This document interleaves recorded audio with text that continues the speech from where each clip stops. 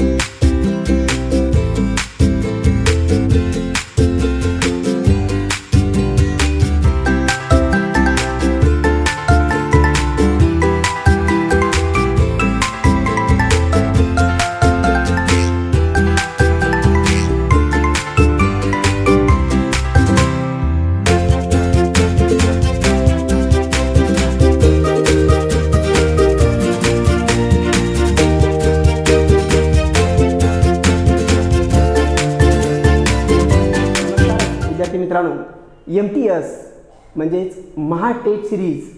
YouTube चॅनलवर त्याचबरोबर M T S या मोबाईल ॲप्लिकेशनवर मी आपलं सहर्ष स्वागत करतो आहे तर आपल्याला माहीत आहे की भारतीय डाक विभाग जो आहे भारतीय डाक विभाग मार्फत भारतीय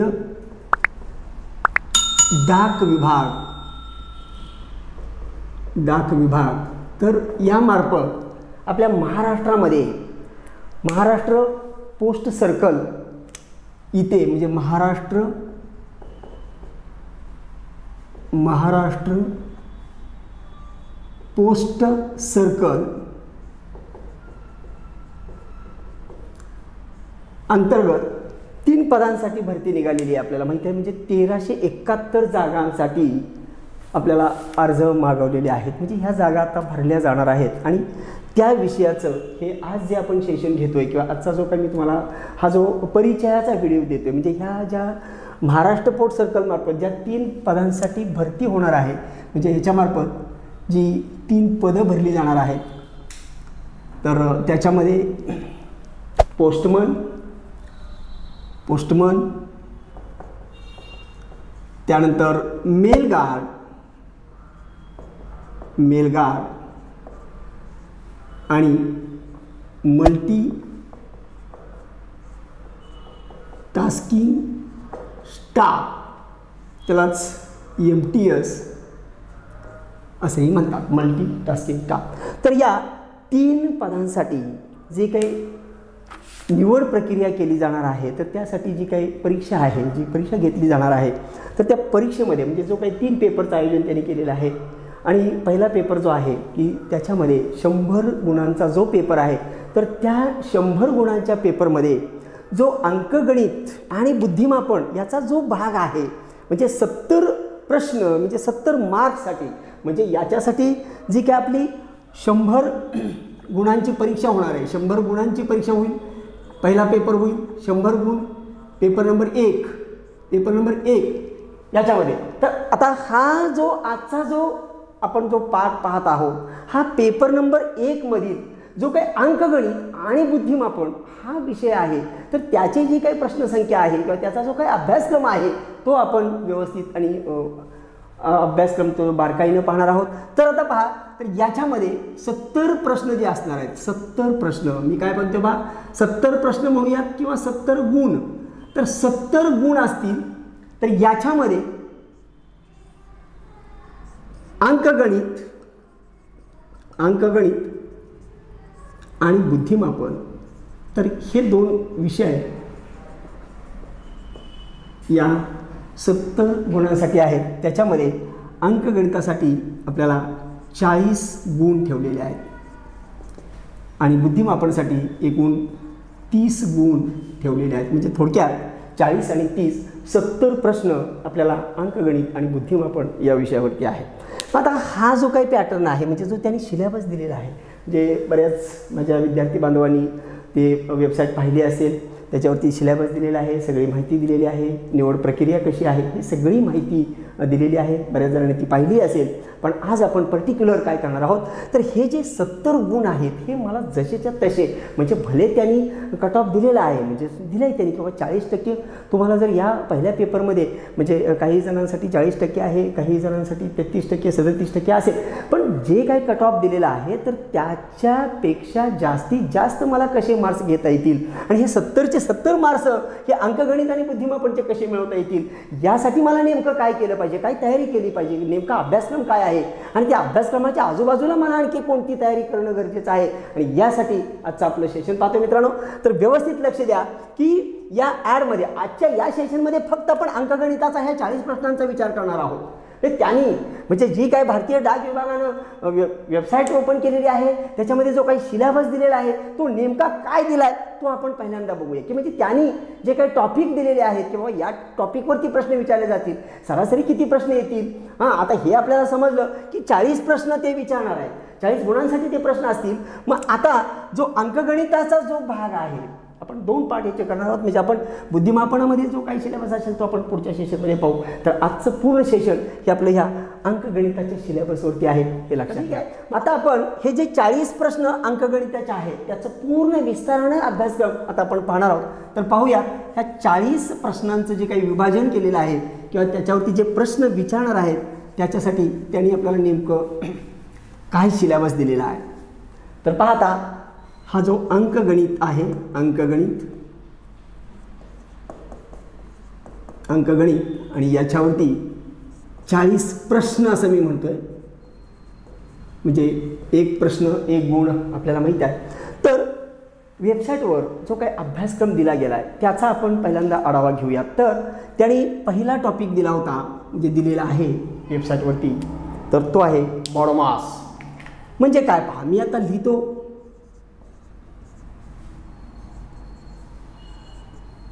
बॉडोमास त्यानंतर दुसरा टॉपिक दिला होता. त्यांनी दिलेले टॉपिक मी लिहितोय अगोदर. त्यानंतर त्यांनी दिला होता पर्सेंटेज पर्सेंटेज हा एक टॉपिक आपल्याला दिलेला आहे. म्हणजे हा एक घटक आहे. त्यानंतर तिसरा दिला आहे आपल्याला प्रॉफिट प्रॉफिट आणि लॉस त्यानंतर चौथा टॉपिक जो त्यांनी दिला आपल्याला तो आहे सिंपल इंटरेस्ट सिंपल आणि कंपाऊंड कंपाऊंड इंटरेस्ट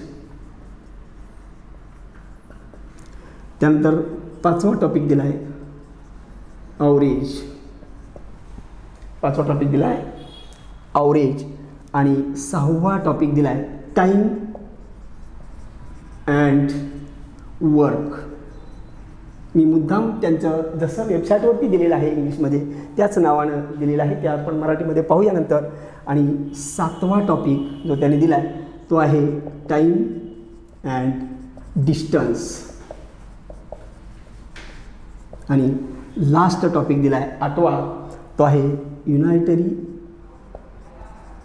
मेथड पहा हे एवढे टॉपिक त्यांनी आपल्या वेबसाईटवरती दिलेले आहेत. बऱ्याच जणांनी पाहिले असतील पाहिले नसतील तर पाहून घ्या. जी काही भारतीय डाक विभागाची वेबसाईट झालेली आहे म्हणजे प्रकाशित झालेली आहे त्या जागा निघालेल्या आहेत. त्याचं जे फॉर्मची तारीख त्यांनी दिलेली आहे तीही तारीख तिथं सगळी डिटेल माहिती दिलेली आहे. आता त्या माहितीचं आपल्याला फारसं म्हणजे इथं आता आपण जे पाहतोय ते अंकगणिताचा आणि भूमितीचा भाग पाहणार आहोत. आजच्या व्हिडिओमध्ये आपण अंकगणित पाहणार आहोत. तर मग आता बघूयात आपण की हा जो पहिला टॉपिक दिला बॉडोमास आता हा बॉडोमासचा नियम काय आहे? तर हा एक नियम आहे बाळानो.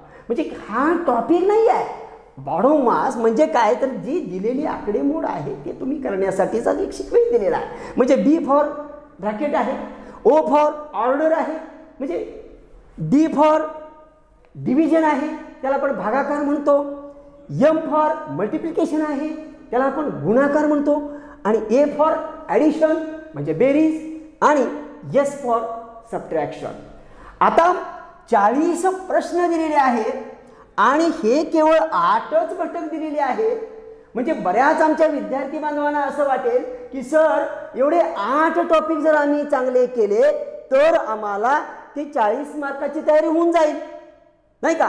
कारण आठच तर दिलेत ना. मग जर आपण त्याची सरासरी काढली आठ टॉपिक हे चाळीस गुणांसाठी किंवा चाळीस प्रश्नांसाठी दिलेले आहेत. म्हणजे सरासरी चाळीस भागिले आठ केलं तर पाच येईल. म्हणजे पाच प्रश्न हे एका टॉपिकवरती असतील. सरासरी अवरेज धरलं तर. मग आता प्रत्येकाच्या ह्याच्यामध्ये काही पाचच असतील असं नाही आहे पण त्यांनी देतानाच दिलं आहे तिथं. हां म्हणजे चार ते आठ एवढे प्रश्न एका टॉपिकवरती विचारले जातील. म्हणजे सरासरी कमीत कमी चार प्रश्न जास्तीत जास्त आठ प्रश्न एकाच टॉपिकवर विचारले जातील असं त्या वेबसाईटवरती दिलेलं आहे. पहिल्यांदा आपण त्या जाहिरातीचा पूर्ण अभ्यास करूया. तर मित्रांनो मला तुम्हाला हे सांगायचं की जर एवढेच आठ टॉपिक करायचे असतील आणि मग चाळीस गुण मिळाले मिळणार असतील जर असं ज्यांना वाटतं तर त्यांनी व्यवस्थित लक्षात घ्या की मी तुम्हाला यासाठी म्हणजे तुम्हाला जे काही मी आता सांगणार आहे. म्हणजे जे ज्या पद्धतीने हे दिलेलं आहे तर त्याच्या पाठीमागचा जो काही गर्भितार्थ ज्याला आपण म्हणतो की जे एक गुप्त काही माहिती तिथं सिक्रेट पद्धतीनं जी काय आहे तर ते आपल्या व्यवस्थित लक्षात यावं. यासाठी आपण एक उदाहरण पाहणार आहोत की जे उदाहरण तुम्हाला तुमच्या आयुष्यभरासाठी सुद्धा या परीक्षेच्या तयारीसाठी तर ते उपयुक्त असेलच तर पाहूयात मी तुम्हाला एक जे काही सांगणार आहे गोष्ट ही लक्ष देऊन ऐका. फार महत्त्वाचा मेसेज तुमच्यापर्यंत मी पोहोचवणार आहे. तर पहा एक पौराणिक कथा मी तुम्हाला सांगणार. म्हणजे जी तुम्हाला माहिती असणारीच कथा आहे. म्हणजे बऱ्याच जणांना माहीत आहे की सत्यवान आणि सावित्री म्हणजे ही जी काही वटपौर्णिमा आणि तो जो सण आहे आपण आपल्या महाराष्ट्रामध्ये वटपौर्णिमेचा सण साजरा केला जातो. आपल्या बऱ्याच जणांना माहिती आहे. तर मी तिथून सुरुवात करतो त्याचं. तर हा सत्यवान आणि त्याची पत्नी सावित्री आणि यांचं जे काही त्याच्या वडिलांचं जे राज्य होतं ते राज्य हिरावून घेतलं म्हणजे ते पराभूत झाले होते. आणि त्याचे वयस्कर आईवडील म्हणजे जे जे अंध होते वयस्कर होते. आणि ते आईवडील आणि ती ही दोघं नवरा बायको म्हणजे सत्यवान आणि सावित्री हे एका वनामध्ये म्हणजे जंगलामध्ये एक कुटी बांधून किंवा एक झोपडी बांधून तिथं ते राहिले होते.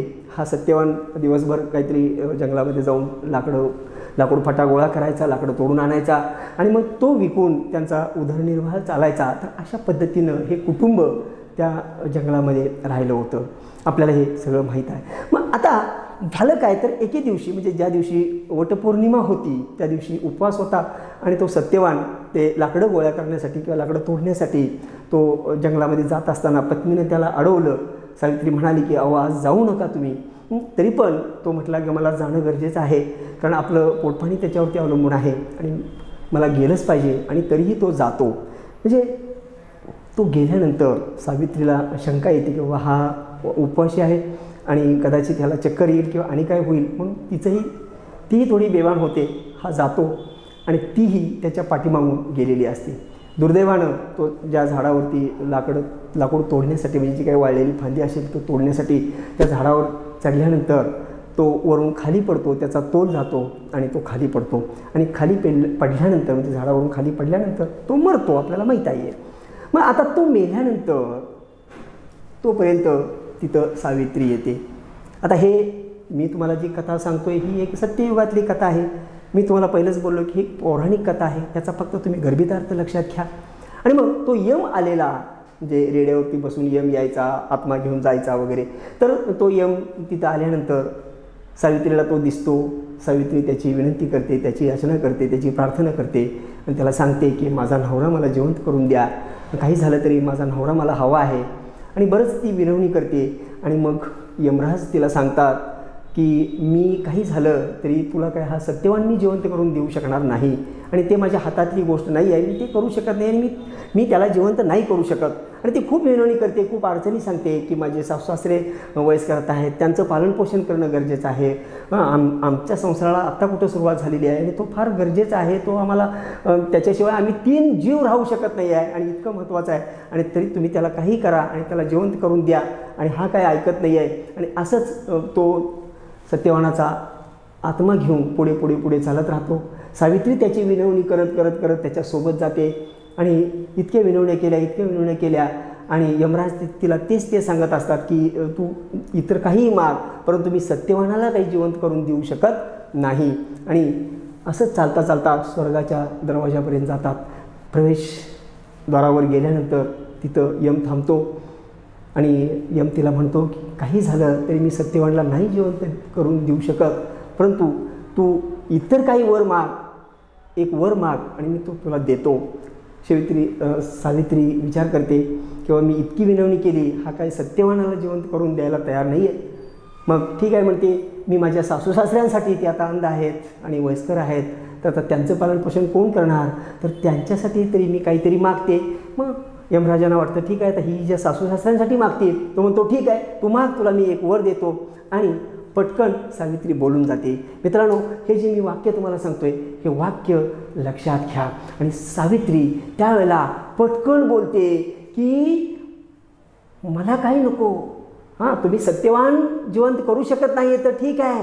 माझ्या सासू सासऱ्यांसाठी एक वर द्या. आणि माझ्या सासू सासऱ्यांना त्यांच्या त्यांचा नातू राजगादीवर बसलेला त्यांच्या स्वतःच्या डोळ्याने दिसावा. एवढा वर मला द्या. आणि ती यमराजांच्या पायावरती डोकं टकवते आणि यमराज मात्यावरती हात ठेवतात आणि तथास्तू म्हणतात. आणि तथास्तू म्हणाल्यानंतर यमराज जेव्हा भाणावर येतात आणि तेव्हा मी काय करून बसलो? काय मागितलं हिनं? मी काय दिलं हिला? काय मागितलं हिनं? तर मित्रांनो तिनं काय मागितलं होतं? की फक्त काय म्हणाली माझ्या सासूसाऱ्यांसाठी मी मागते म्हणाली. नवरा तर तुम्ही देतच नाही ना जेवण करून आता. पण सासूसऱ्यासाठी मागते. हा तथास्तू म्हणाले. आणि मग त्यांच्या लक्षात आलं की अरे हिनं सगळंच मागितलं.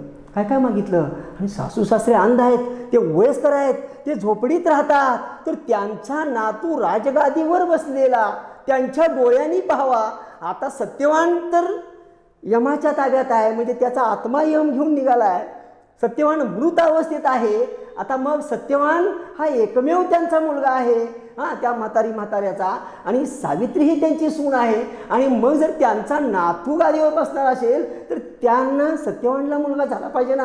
आणि मग सत्यवानला जर मुलगा व्हायचा असेल तर सत्यवान जिवंत असला पाहिजे ना. म्हणजे सत्यवानला जिवंत करणं भाग आहे. त्यानंतर आता ह्यांना मुलगा देणं भाग आहे. आता मुलगा दिल्यानंतर तो मुलगा राज्यगादीवर बसणार. म्हणजे मुलगा काय पाळण्यात असताना राज्यगादीवर बसत नाही आहे म्हणजे त्याची वडिलार्जित गादी असं म्हणजे राजाचाच मुलगा राज्यगादीवर बसतो ना. म्हणजे जे राज्य यांचं गेलं होतं तेही त्यांना परत द्यावं लागेल. आणि दुसरं म्हणजे तो मुलगा वीस एकवीस वर्षाचा होईपर्यंत ती मतारा म्हातारी म्हणजे त्याचे जे आजोबा आजी असतील म्हणजे सत्यवानचे आई वडील असतील ते पण तिथंपर्यंत जगले पाहिजेत. आणि शिवाय त्यांच्या डोळ्यांनी ते राजगादीवर बसलेला तो पाहायचा आहे. म्हणजे त्यांचे गेलेले डोळे परत आले पाहिजेत. म्हणजे ह्या सगळ्या घटनाक्रम म्हणजे ह्या एका वाक्यामध्ये तिनं आपल्या सासूसासऱ्यांना पुढं करून आणि यमाला फसवून त्याच्याकडून तो वर प्राप्त करून घेतला. आणि एकदा तथास्तू म्हटलं ते त्यांना करावंच लागलं. म्हणजे सगळ्याच गोष्टी तिनं साध्य करून घेतल्या. मित्रांनो मला सांगण्याचा उद्देश हा होता की जरी हे त्या आपल्या ह्या वेबसाईटवर किंवा ह्या ॲडमध्ये एवढेच टॉपिक दिले असतील तरीसुद्धा याच्यामध्ये बऱ्याच गोष्टी आपल्याला कराव्या लागणार आहेत. आणि म्हणून ह्याचा आपण सविस्तरपणे अभ्यास करायचा आहे. हे जर का चाळीस मार्क्स आता मी अंकगणिताचा हा व्हिडिओ आहे म्हणून मी चाळीस मार्क्सचं बोलतोय. म्हणजे ज्यावेळेला बुद्धिमापनचं पाहणार आहोत तेव्हा त्या तीस मार्काचं बोलणार आहोत. पण टोटली ही सत्तरचे सत्तर मार्क्स घेण्यासाठी आपल्याला काय करायला पाहिजे हे आपल्याला पाहायचं आहे. तर आता आपण विस्तारानं बघूया की हा जो पहिला टॉपिक त्यांनी दिलेला आहे जरी त्यांनी एवढं दिलं असलं जरी तिने एकच वाक्यात मागितलं पण तिनं एवढं सगळं मागितलं होतं लक्षात. पण या ठिकाणी बोडोमास हा जो टॉपिक त्यांनी दिलेला आहे याच्यामध्ये काय काय येतं पहा. अहो हे ब्रॅकेट म्हणते. ब्रॅकेट म्हणजे कंस. आता कंस म्हणजे काय? हे एक फक्त कंस आहे ना तो असा. हा असा असेल. हां किंवा हा असा चौकटी कंस असतो किंवा असा महिरप कंस असतो. हां अशा पद्धतीचे कंस असतात किंवा बारकंस असतो म्हणजे वरती आडवी रेग असते. पण ह्याला काय अर्थ नाही पण ह्या ज्या क्रिया दिल्यात ना ह्याच्यामध्ये ज्या क्रिया आहेत ना बेरीज आहे वजाबाकी आहे गुणाकार आहे भागाकार आहे ह्या चार चार क्रिया आहेत गणितामध्ये. म्हणजे साहजिकच ते आपल्याला माहीत असल्या पाहिजेत ना त्या क्रिया. म्हणजे त्या क्रियासुद्धा याच्यामध्ये आपल्या पण क्रिया करणार कुणावर? ठीक आहे आम्हाला बेरीज येते आम्ही करणार कोणाची? मला गुणाकार येतो मी कोणाचा करणार? नाही का? मग त्यासाठी आपल्याला त्या संख्येची ओळख असली ज्याच्यावरती ती आपण क्रिया करणार आहोत. म्हणजे म्हणून आपल्याला पहिल्यांदा ह्याच्यामध्ये शिकावं लागेल की जर तुम्हाला हे सगळे मार्क्स घ्यायचे असेल तर पहिलं आपल्याला शिकलं पाहिजे संख्या म्हणजे काय असतं? संख्या आपल्याला शिकावं लागेल विस्तारानं. हा त्याच्यामध्ये सिक्रेट उपघटक आहे लक्षात घ्या. हे आता तर आपल्याला उपघटक शिकायचे आहे त्याच्यामध्ये हे आठ जण आहेत ठीक आहे. पण ह्या प्रत्येकाचं आपल्याला आतमध्ये काय घडलंय हे शोधायचं आहे. मग संख्या शिकल्यानंतर आपल्याला शिकावं लागेल की त्याची बेरीज कशी करायची? मग बेरीज आणि वजाबाकी हां म्हणजे ह्या दोन क्रिया ज्या आहेत त्या आपल्याला शिकाव्या लागतील. म्हणजे तो त्याचा उपघटक असेल. त्यानंतर आपल्याला शिकावं लागेल की त्याचा गुणाकार कसा करायचा? गुणाकार आणि भागाकार. ह्या ह्या क्रिया कशा केल्या जातात? आता त्यानंतर गुणाकार भागाकार केल्यानंतर आम्हाला शिकायचं आहे की ही संख्या झाली हो पूर्णांक संख्या झाली हो. मग संख्येचा आणि एक प्रकारे मग संख्या अपूर्णांक सुद्धा असू शकतात. आणि म्हणून आम्हाला शिकायचं आहे अपूर्णांक. हा सुद्धा आम्हाला शिकणं गरजेचं आहे. अपूर्णांक. अपूर्णांक मग त्याच्यामध्ये पुन्हा प्रकार आहेत बा पुन्हा आपल्याला आतमध्ये खोलवर जायचं आहे. नुसतं संख्या म्हणून चालणार नाही. मग त्याच्यामध्ये धनसंख्या आहेत ऋणसंख्या आहेत परिमेय संख्या आहेत सम आहेत विषम आहेत. मग हे सगळं आपल्याला विस्तारानं बघावं लागणार आहे. त्यानंतर आपल्याला त्यांची मग बेरीज कशी करायची मजाबाकी कशी करायची गुणाकार भाकार कसे करायचे अपूर्णांकाची क्रिया कशी करायची आणि मग हे सगळं हे चार घटक जे आहेत ना हे चार घटक जेव्हा आपल्याला येतील जेव्हा आपल्याला समजतील तेव्हा आपल्याला ह्या बाडोमास हा जो टॉपिक होता त्या- त्याची थोडक्यात ओळख होईल लक्षात. हे एका टॉपिकचे मी चार लिहिलेले आहेत. म्हणजे आता आपल्याला सगळं मिळून ह्याच्यामध्ये जो काही सिलेबस पाहायचा आहे जे काय आजूबाजूचे सगळे उपघटक आपल्याला पाहिजे आहेत की ते आल्याशिवाय आपण नाही उदाहरणं सोडवू शकत. जरी तुम्हाला वाढोमाचा नियम माहीत असेल तरी काही उपयोग नाही. नियम माहीत असणं आणि तो नियम वापरणं आणि तो वापरण्यासाठी बाकीचं जे जे काही बेसिक नॉलेज आहे ते सर्वात महत्त्वाचं आहे. हे लक्षात घ्या. आणि ते आपल्याला जर का आपल्याला पूर्ण मार्क्स मिळवायचे असतील तर हे सगळं आपल्याला पाहावं लागेल. आता याच्यानंतर जो काय आपण टॉपिक पाहणार आहोत याच्यामध्ये ते सगळे टॉपिक मी तुमच्यासमोर फळ्यावरती लिहिणार आहे. की एवढे एवढे टॉपिक आपल्याला पाहावे लागणार आहेत. आणि मग ते टॉपिक आपण पूर्णपणे जे काही आता पुढं आपण जे काही आपले जे व्हिडिओ असतील किंवा जे काही मार्गदर्शन वर्ग आम्ही घेऊ तर त्या मार्गदर्शन वर्गामध्ये तुम्हाला हे सगळे टॉपिक खोलवर जाऊन मग त्याची उदाहरणं वेगवेगळ्या पद्धतीनं उदाहरणं कसं येतील कुणाशी कुठला टॉपिक रिलेटेड आहे जरी तुम्हाला यांनी दिला असेल हिता आता ज्यांनी दिलं आहे हो पर्सेंटेज हां आता पर्सेंटेज म्हणजे शेकडेवारी आम्हाला माहीत आहे ना. ह्याचा अर्थ आहे शेकडेवारी मराठीमध्ये जर आपण म्हटलं तर याचा अर्थ आहे शेकडेवारी. मग ह्या शेकडेवारी येण्यासाठी काय काय पाहिजे? ते आपल्याला सगळं बघावं लागेल. हां शेकडेवारीसाठी आपल्याला भाग लावता आला पाहिजे. आपल्याला तिथं भागाकार करता आला पाहिजे. तिथं आपल्याला दशांश पूर्णांकाचा भाकार करता आला पाहिजे. पूर्णांकाचा भाकार करता आला पाहिजे. मग हे सगळं आपलं जे बेसिक होईल ते सगळं बेसिक आपल्याला करावं लागेल. मग आता हा शेकडेवारी झाला त्याच पद्धतीनं मी सगळे टॉपिक इथं लिहितो. अगोदर हे मी घालवणार आहे तर हे परत एकदा तुम्ही इकडे लक्ष द्या. मी एकदा मराठीत एक्सप्लेनेशन करतो. म्हणजे पर्सेंटेजचा अर्थ आपल्याला माहिती आहे की शेकडेवारी हा जो प्रॉफिट आणि लॉस आहे तो आपल्या ओळखीचा टॉपिक आहे. नफा तोटा हाही आपण विस्तारानं बघणार आहोत. नफा तोटा. त्यानंतर हा सिंपल आणि कंपाऊंड इंटरेस्ट म्हणजेच सरळ व्याज आणि चक्रवाढ व्याज. इथं लिहितो मी सरळ व्याज सरळ व्याज आणि चक्रवाढ व्याज. चक्रवाढ व्याज हा एक टॉपिक आहे. आणि त्यानंतर आहे आवरेज म्हणजे आवरेजला मराठीमध्ये सरासरी असं म्हणतात सरासरी. त्यानंतर आहे टाईम अँड वर्क म्हणजे हे आहे. इथं टाईमचा अर्थ आपण वेळ न घेता तुम्ही किंवा वेळ किंवा काळ असे म्हणतात त्याला आणि काम.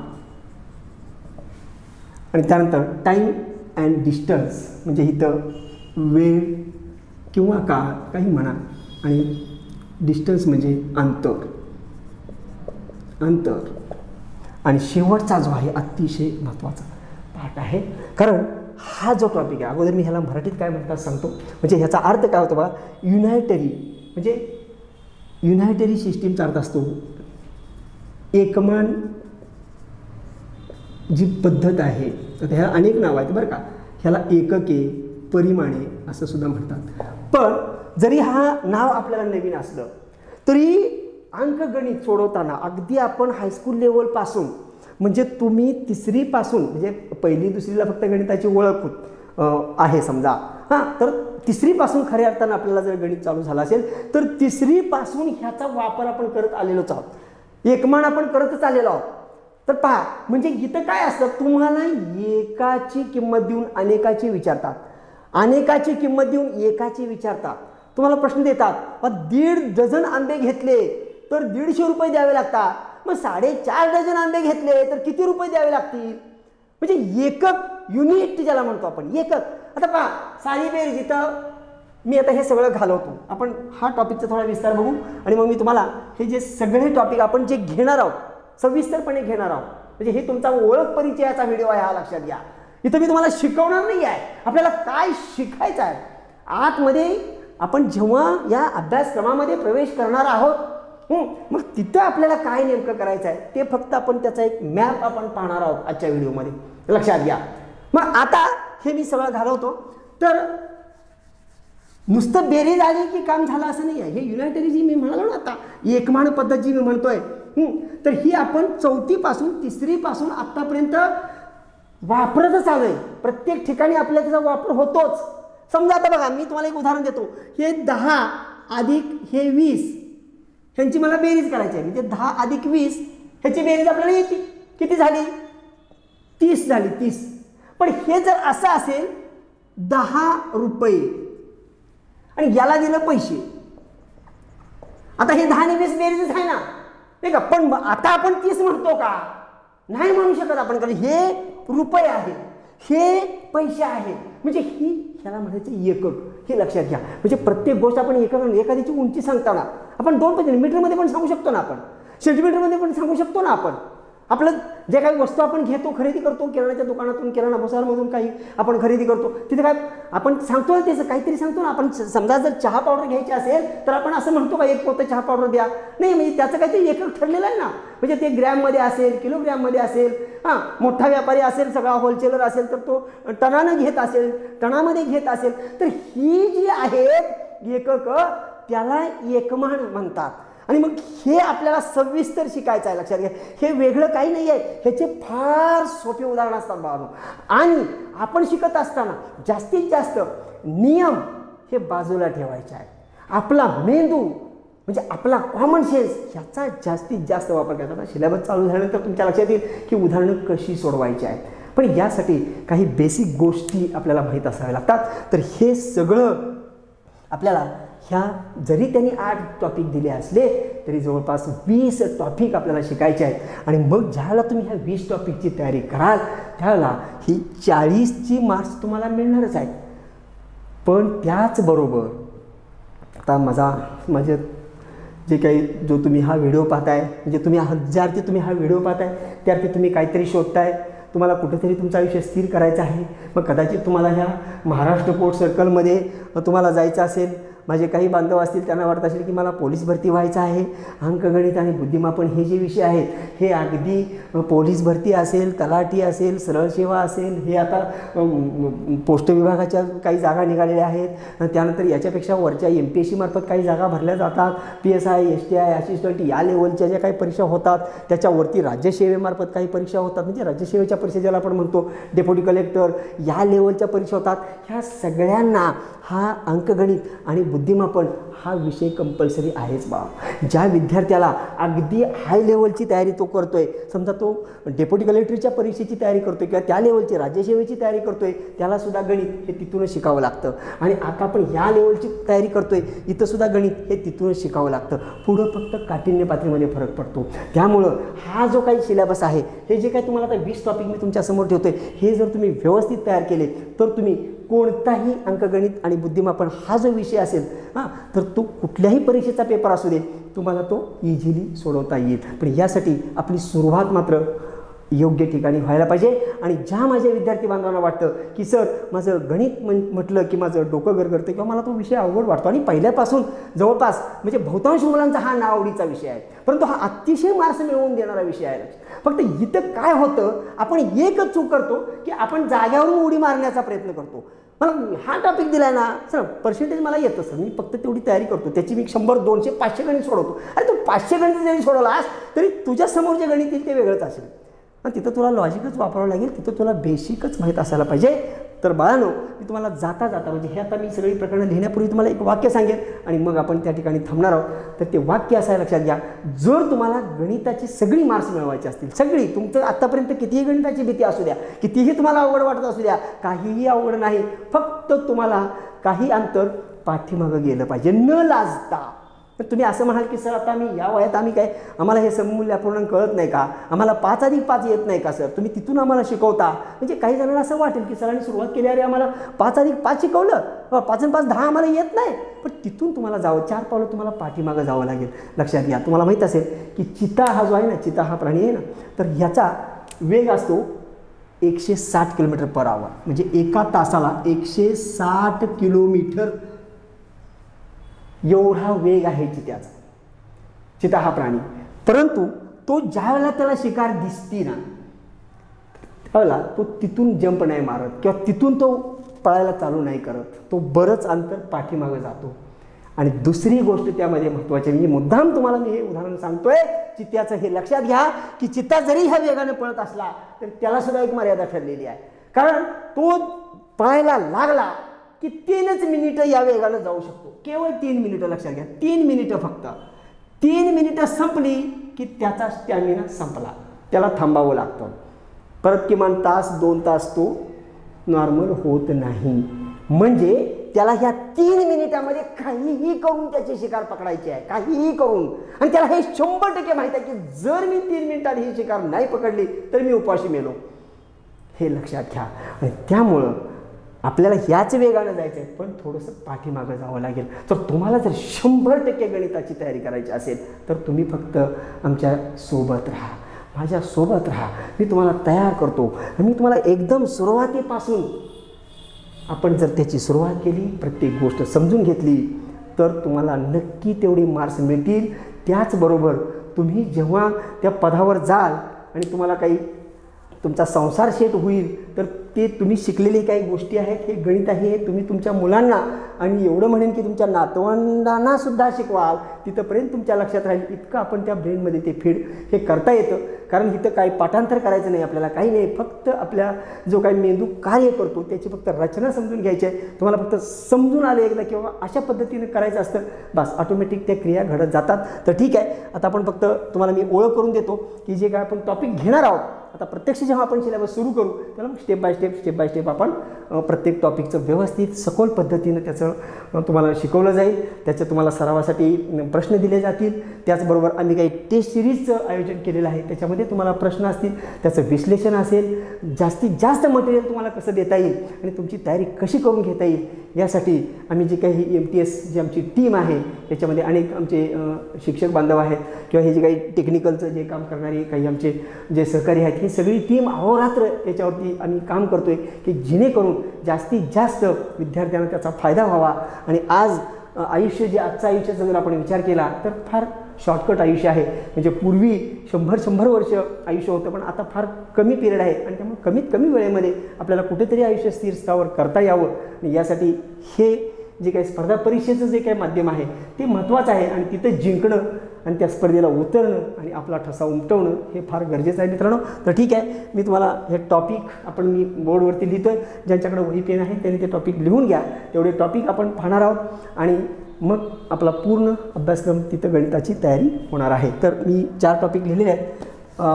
तर पहा आपल्याला काय काय पाहायचं म्हणजे एक ओझरती आपल्याला ओळख असावी म्हणून तुम्हाला मी टॉपिकची नावं बोर्डवरती प्रेझेंट करतो आहे तर अपूर्णांक पाहिल्यानंतर आपल्याला पाहायचं आहे की विभाज्यतेच्या कसोट्या पाहिजे आहेत.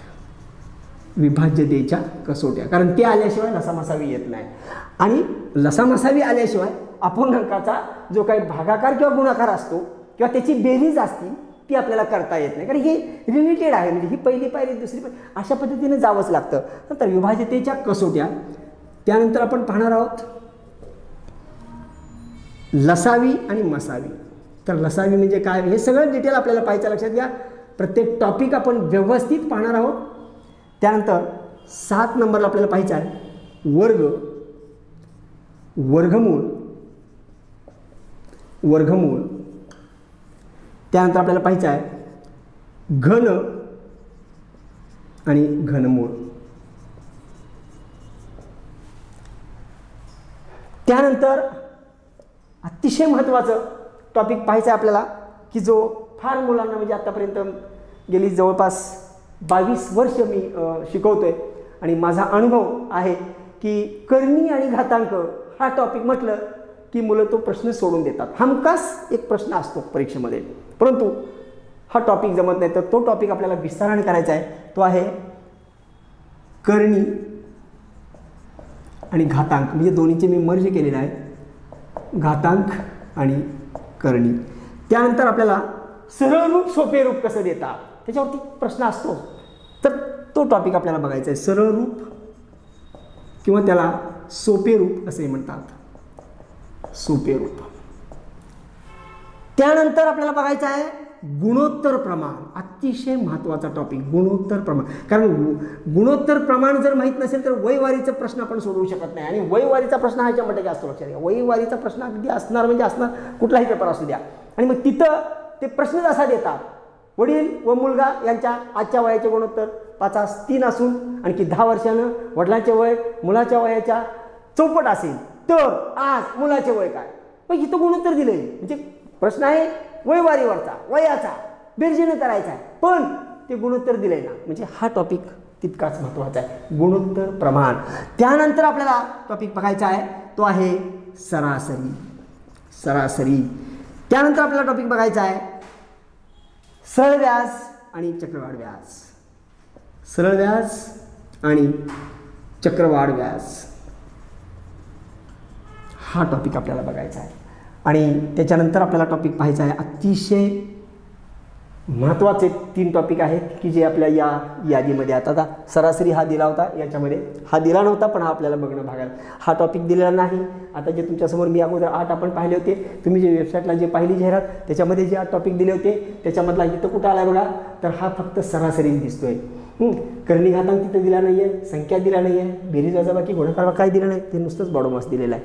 त्यानंतर आपल्याला इथं सरळ चक्रवाढी व्यास हा एक टॉपिक त्यांनी दिला होता. त्यानंतर आपल्याला दिला होता शेकडेवारी त्यांनी दिलेला आहे. शेकडेवारी आपल्याला बघायचाच आहे. शेकडेवारी तर महत्त्वाचं आहेच. त्याच्याबरोबर आपल्याला शेकडेवारी जर आलं तरच नफा तोटा येतो लक्षात त्या पहिल्यांदा शेकडेवारी शिकावं लागतं. त्यानंतर आपल्याला त्यांनी नफा तोटा म्हणजे प्रॉफिट लॉस हा सिलेबसने दिला. तर हाही टॉपिक त्यांनी दिलेला आहे. त्याच्यानंतर नफा तोटा पाहिल्यानंतर महत्त्वाचे दोन टॉपिक त्यांनी दिलेत आपल्याला. एक दिलं आहे काळ आणि काम.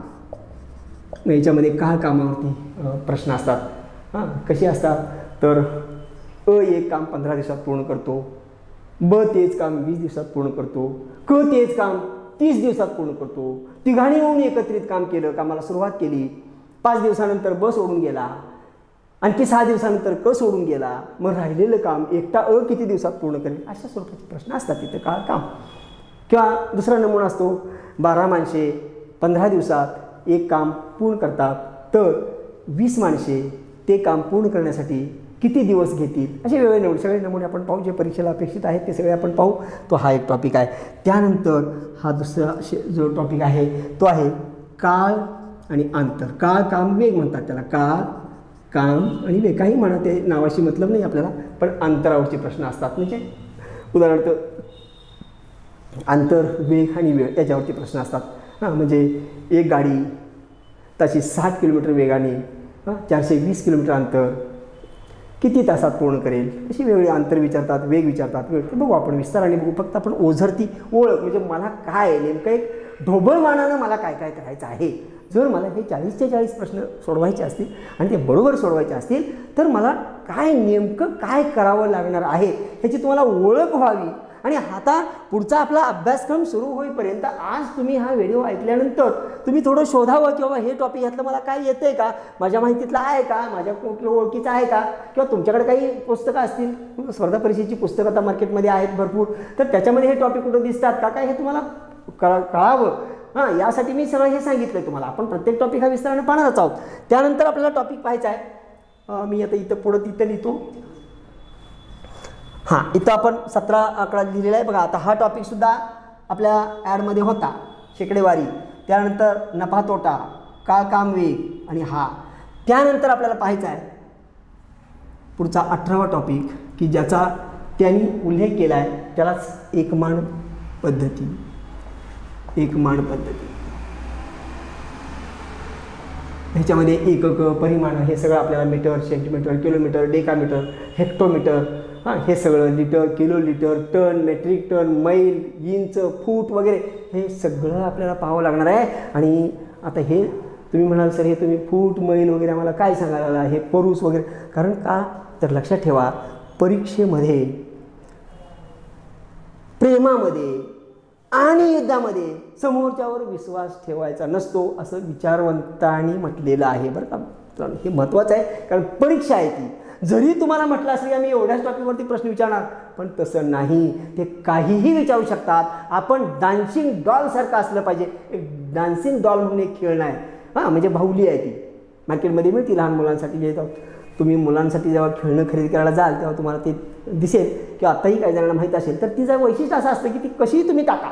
तिला अशी फेकून जरी दिली तरी पण ती जेव्हा जमिनीला टेकेल ना तेव्हा ती उभी राहते आणि डान्स करायला लागते. तिला डान्सिंग डॉल असं म्हणतात. म्हणजे त्याने कसा जरी प्रश्न फेकला तरीसुद्धा आमचा पर्याय बरोबर निवडला गेला पाहिजे. आम्हाला तो आलाच पाहिजे.